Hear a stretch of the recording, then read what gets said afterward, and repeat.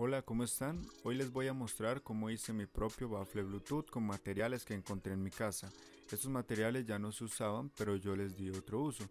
Estos son los materiales que encontré. Un equipo viejo y en mal estado, pero que aún sonaba muy bien. Primero el equipo le saqué la parte frontal y a esa parte frontal le saqué la casetera que ya no se usa, o al menos yo no la utilizo. Luego de quitar la casetera le quité las tapas de donde estaban las dos caseteras de la parte frontal, o sea, partí el frontal en dos, ya que era muy grande y no cabía donde quería ponerlo después. Entonces, como la parte frontal del equipo estaba unida con la parte de amplificación por medio de un encaje que tenía muchos pines que la unían y no podía acomodar o sea, las dos partes en la misma posición tuve que separarlas con un puente de muchos cables. Me tocó puentear cada uno de los pines que las unían. Fue algo muy aburrido hacerlo ya que eran muchos cables y al colocarlos todos hice una prueba para ver cómo quedó y el equipo no prendió y me tocó quitar todo y volver a soldar todo de nuevo pero al final prendió el equipo y pude continuar. Utilicé un cajón de un, em, de un parlante que tenía viejo que encontré en un rincón y le hice unos agujeros con la caladora para colocar los parlantes que tenía. Cuando comencé a colocar los parlantes al cajón me di cuenta que el frontal del equipo prendía pero no sonaba ya que el volumen no servía.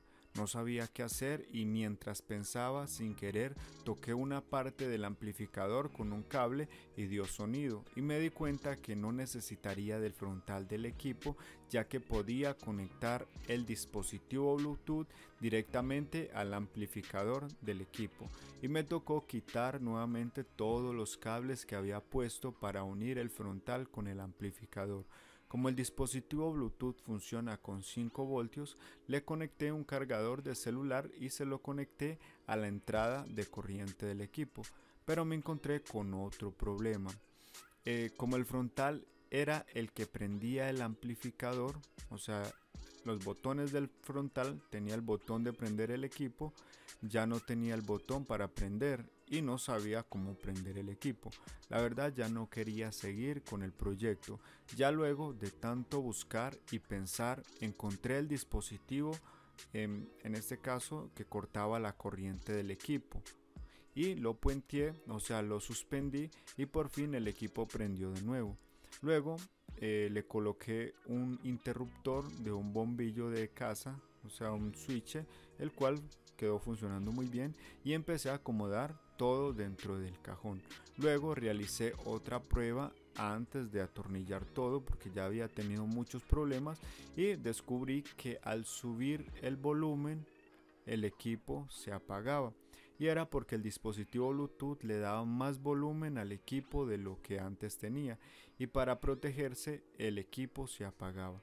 Así que puse un par de tornillos a la perilla del volumen para que no lo dejara pasar de un nivel y así no dar más volumen del que soportaba el amplificador y no se volvió a apagar el equipo. Luego atornillé todo y quedó muy bien el baffle Bluetooth. Suena muy bueno. Tuve muchas dificultades la verdad, pero al final valió la pena el esfuerzo. Ahí les dejo el video de cómo quedó sonando. No olviden suscribirse, darle like y hasta la próxima. Bye bye.